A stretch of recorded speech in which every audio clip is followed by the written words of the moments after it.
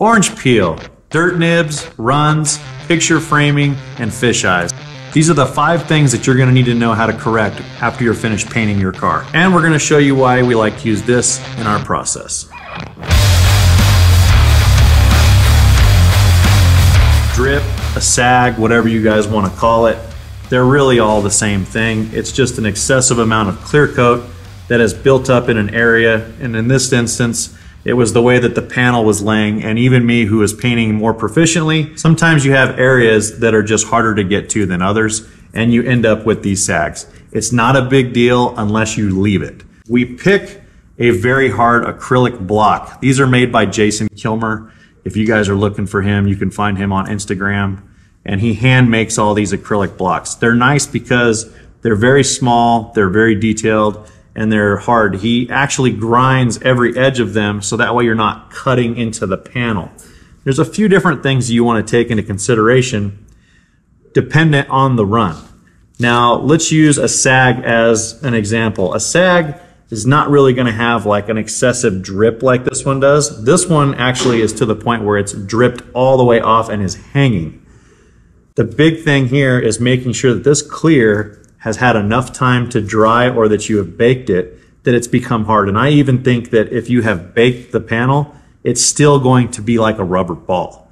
If you give this a good couple weeks, if you can, the more time, the better. This becomes hard and then it's more like taking off shaved ice than it is trying to sand a rubber ball. What we're going to be using is 320 grit. You can use 400 grit. There's no real science to this. You're just, you need to use something that's aggressive enough that you can see when you sand the high points of the run.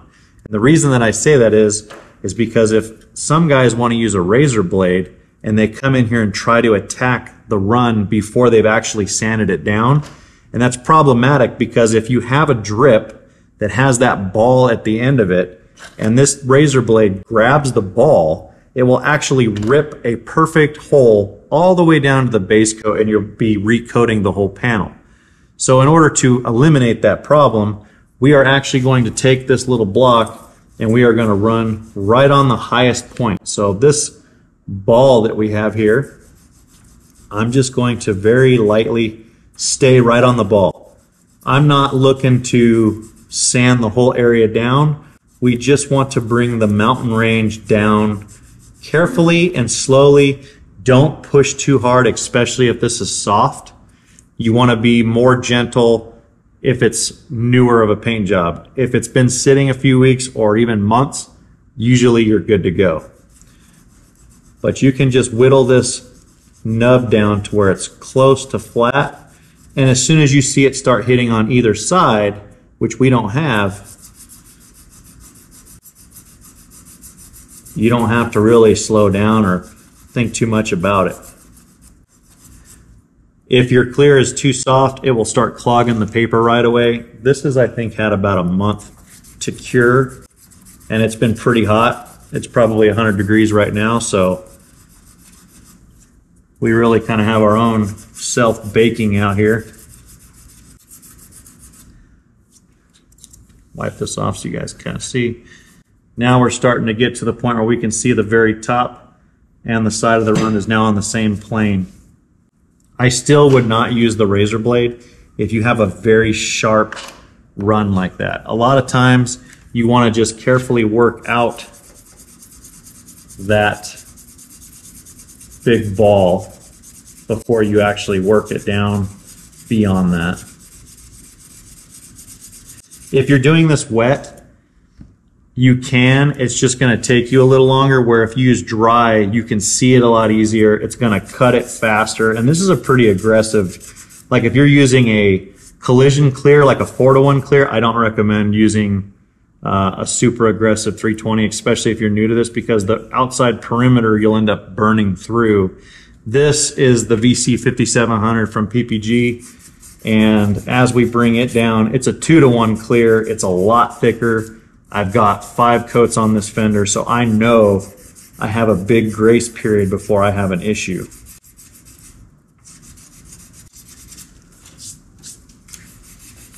You're trying to keep the block directly over the highest point. try not to hit the sides like we've done out here. Those are just barely kissing the sides and just focus on wearing it down evenly. You should also be hearing your paper cutting really nice. If it's worn out, it, and it very well could plug easily, you're going to have more of a problem burning an area around than you are actually cutting the run itself down. If you're new and you've got a sharp body line, take your tape and you can just protect that high point in the panel. That way you know. You can always run tape outside of your area if you wanted to. You can build a border. This is just going to help give you a little bit of barrier if you're not comfortable with it. I'll go right up to it.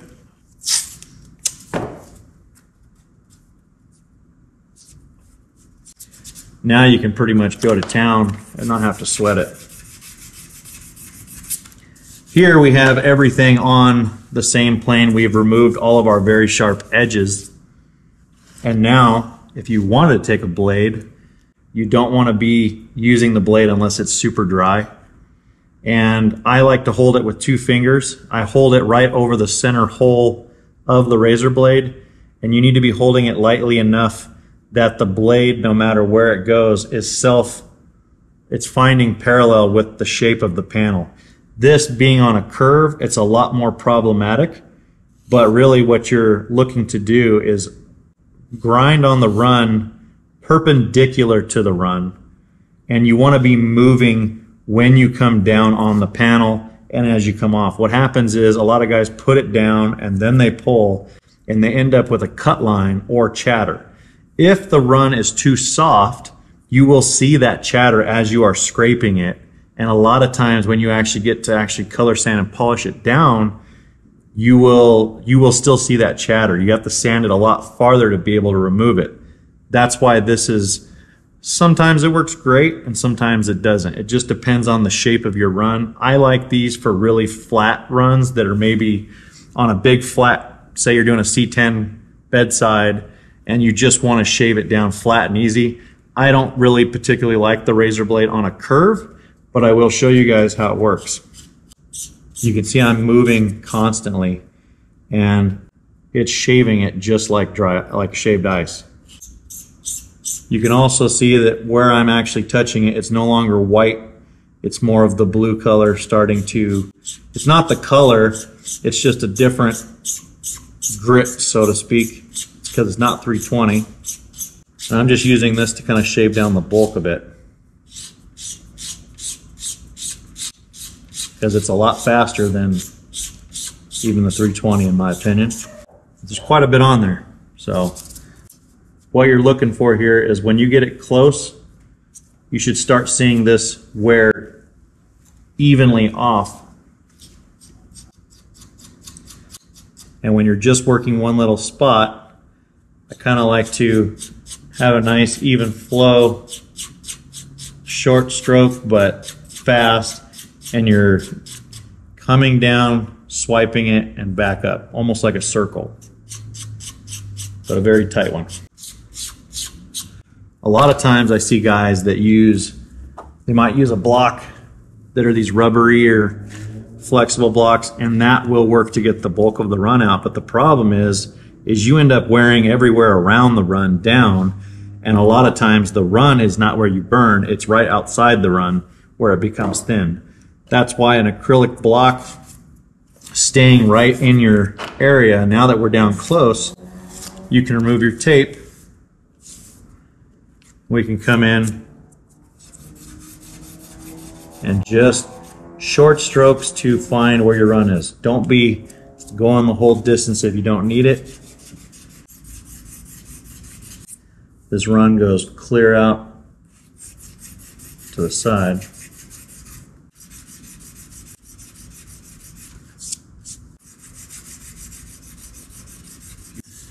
So we've zipped through with 320 and I barely, I like to take this to almost the last five or 10% of almost flat. It's just easier having a, I always like to use the analogy of uh, excavators Would you rather dig down a mountain range flat with a shovel or use the excavator? The grits, think of those as the excavator. The bigger the grit, the more you're going to be taking and just leveling the field. So here we are going to be using the Mirka. This is the white guide coat. Some you can use black. This color we can use white or black. Doesn't really matter. But obviously, if you were using a black paint job, you would want the white, and if you were doing the white, you'd want the black. So I'm going to coat this really, really good. And what this is doing is it's going into those nice deep 320, 400 scratch, whatever you guys wanted to use. Now what I'm going to do is I'm going to take the exact same block. The other thing too is being on a curve like this, it's a little bit more tricky. You can see the difference in these two blocks is you're a quarter inch on one and about an eighth to a sixteenth on the other one. This one will flex over the curve of the panel a little bit better, but I still have that little 10% that I want to get out all the way. And the other thing is if you have good lighting around your run, when you're actually wet sanding, you will see the area that still has the clear. Like right here, we have one little spot where there's no guide coat that's going to stick to it because it's still the original clear. That is your baseline of, we know out here we don't have a run. So that is the lowest point that we have down there. It's the same amount of clear as it is over here we shouldn't have to worry about that as long as you have stayed on the high point. We're going to wrap this 600 grit that we're going to take out the 320 scratches. You can totally upgrade with other grits slower if you want to. Me, I just find be a little bit more consistent with your sanding and pay attention to what the guide coat is telling you and you'll get it all out. I'm going to use a squirt bottle here for lubricity. I've got a couple drops of dish soap in there to just kind of help keep it going. And as we sand this, your 320 scratch will still be seen if it still is in there. Otherwise, these are all going to convert to a 600 scratch.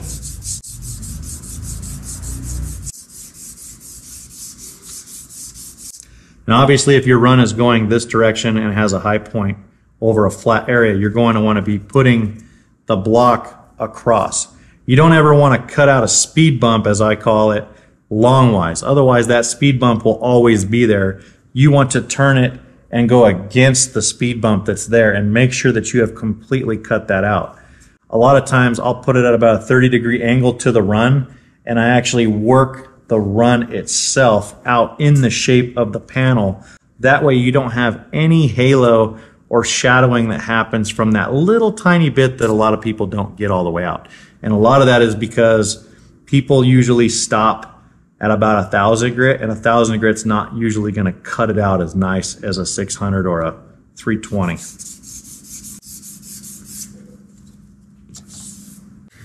We dry it off. You can see one tiny little spot. I don't know if that shows up in the camera or not. One very hint right in the smack in the center and I'm just going to be staring, focusing. We want to make sure that every pass counts. Jason Kilmer, when he teaches this stuff too, that's his biggest thing is making every pass count. If you can't tell every single pass where that is, then you need to be drying it off or get a squeegee and wipe it so that way you can see this little spot of clear that is still not hit. We want everything to be the same all the way through and if I stare at that spot, I can actually see that spot even with it wet. So this is what I mean by making every pass count. The other thing is, if you're going to take it up in grits, which we know we are, we're not going to polish 600.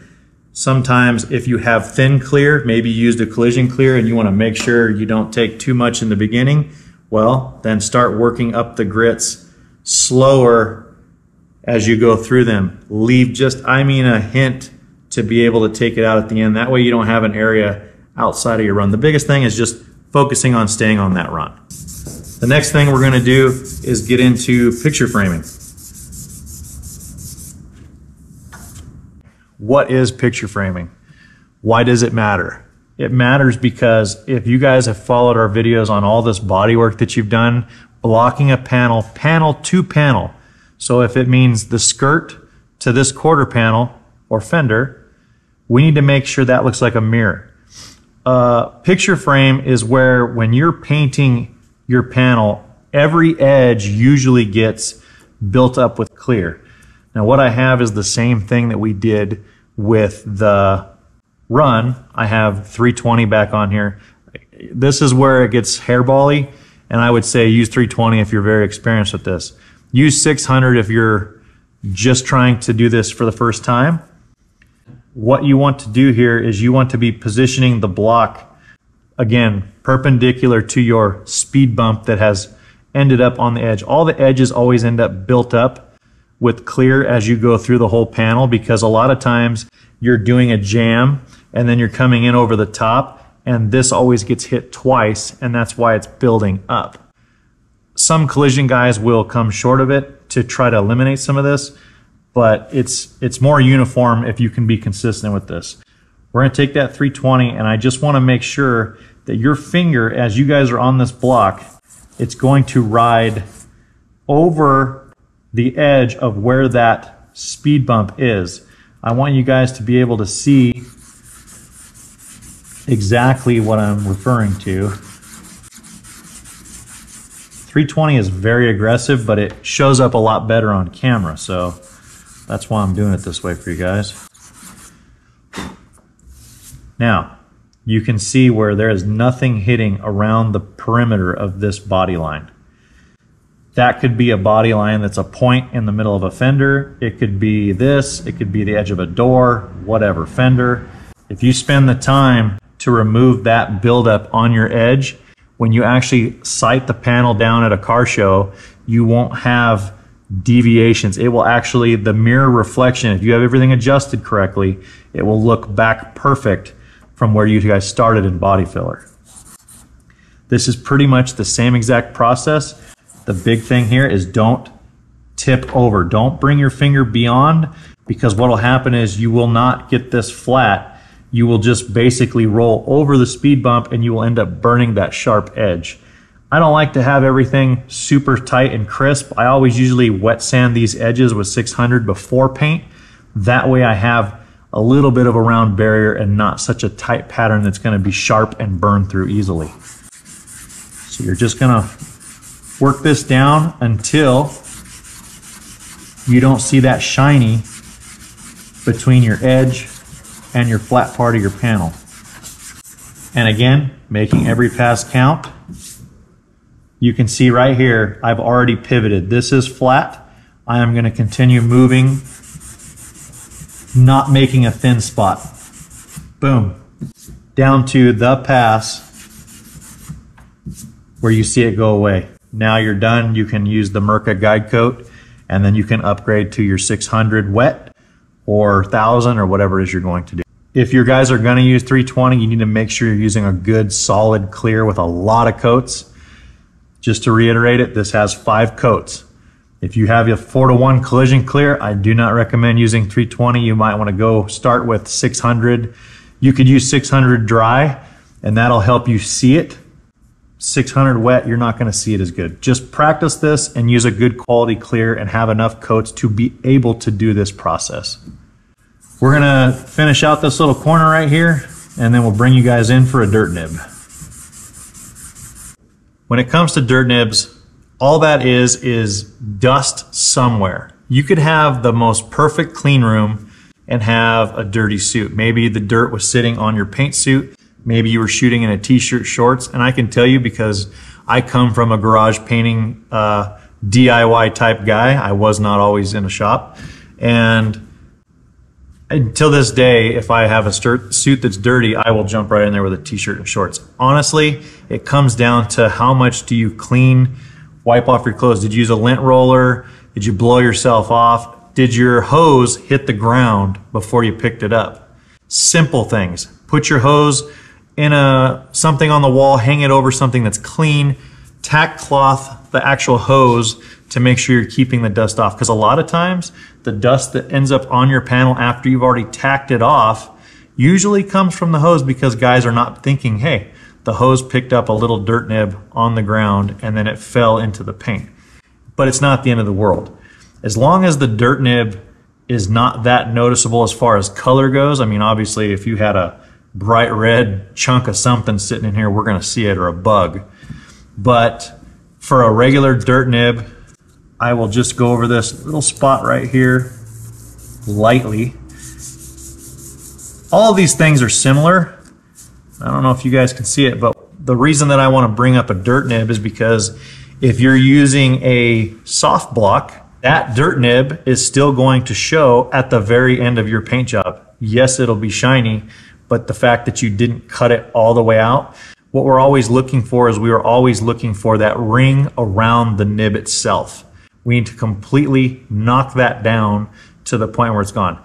This, if you're doing collision work, a newer OEM car, you can totally start with a 1000 grit, 1200 grit, 1500 grit, whatever you guys want to use to get that all the way out. The big thing is using an acrylic block and going over this little dirt nib and not pushing the dirt nib because once you knock that little piece of dirt out, you don't want to run that through. You want to be flushing it out. So use a garden hose. Don't be using a squirt bottle.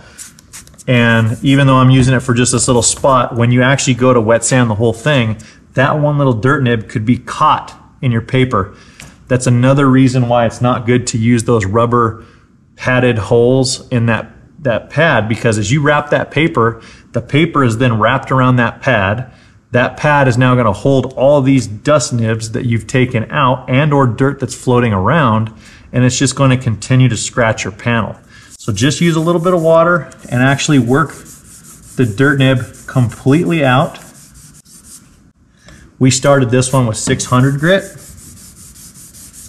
I know there's a lot of different tools out there like they, we have the Mirka uh, tool for taking out runs that's similar to the razor blade. I think it's made out of carbide. Yeah, it works.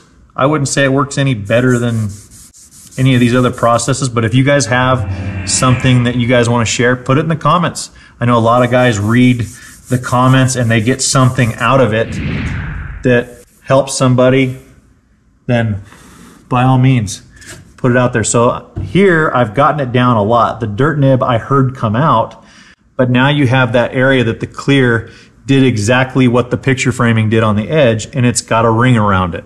So we just have to know where it is and work out that little spot. Maybe you wanted the OEM finish with the orange peel on the car. You could take a really small block like this with 1500 grit work out the dirt nib and just polish those spots.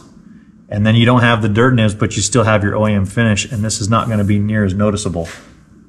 All right, we've got our dirt nib completely out. You're going to have those picture frames around all of your holes for moldings, everything. So every one of those has to be addressed to get that finish. And the next thing we're going to address is the orange peel. Orange peel is caused by a few different variety of things. It could be how you sprayed it out of the gun. It could have been your air pressure that you had out of the gun. The consistency uh, of the paint could have been too thick. And also it could be dieback. Well, what is dieback? Dieback is maybe you painted the panel and it looked great the day that you left the booth, the garage, the whatever it is you sprayed the car in. And then over time, it starts looking hazy, and looks like an orange peel. That is called dieback. The clear is actually shrinking, and what's happening is the reducer that you put in your clear has to exit. Once the clear exits and it dries, this is going to happen over weeks of time. And really, the biggest thing is that when you do this color sand and polish techniques, you need to make sure that the panel is very dry. Uh, one of the ways that you can do that is you can scuff it open with 600 or 1000, whatever you're going to use, and you can actually smell the panel. And if you smell paint, it is still gassing off. That is a good indicator as a starting line, but I would say that the longer you can wait to color sand and polish your car, the longer that the finish will hold out. That is why I wanted to cover this, because if you painted your car and you waited two days and you start doing this process, it is going to look great for about a month. And then as those things start to shrink and start to look more orange peely, you almost end up back at square one where you just don't have the finish that you thought you had. Sometimes we're in a rush to meet a show and we don't have any other option as to do it and maybe the customer's excited they want it back so that's why i always try to tell people that it's important to not rush the painter because these products take time to dry you have to let them completely cure in order to have the best possible finish at the end when you're taking out orange peel you can start with a thousand you can start with 600 you can start with 2000 if you want the level of knowing what clear you have, I can't stress that enough. You have to know you're clear on how many mils of clear do you have there that you can take down. A lot of times the reason that a clear is failing and flaking off is either because it's a cheap clear or it's not put on thick enough. As we take this clear down, I can tell you from experience that I just don't see the same finish from a thousand grit to 600 grit. As you start to work down the orange peel, we are going to use 600 grit for this entire part, but we also will not want to use a block this small. We've spent all this time body working it flat with the next level blocks. I want to make sure that we use Jason Kilmer's color sanding blocks, but I want to be very cautious of what block I pick and what shape that I have. You don't want to be using a very thick, rigid block on an area that's curved. We want to be using a block that actually fits the curvature of the panel. And a lot of times I will just use two fingers to make sure that it curves over the panel. The biggest thing is you have a foam side and you have an acrylic side. The foam side is not going to cut that panel dead flat. A thousand grit, in my opinion, is not going, again, it's my opinion. Some guys will argue that, but I would say do a panel with a thousand grit start to finish and do a panel with 600 grit start to finish. We're talking minimally, but there is a difference and the 600 should look flatter if you did it right. So let's take this 600. I'm just gonna go over it a couple times here to see what we finish we have. I'm gonna use this little block just to kind of show you guys.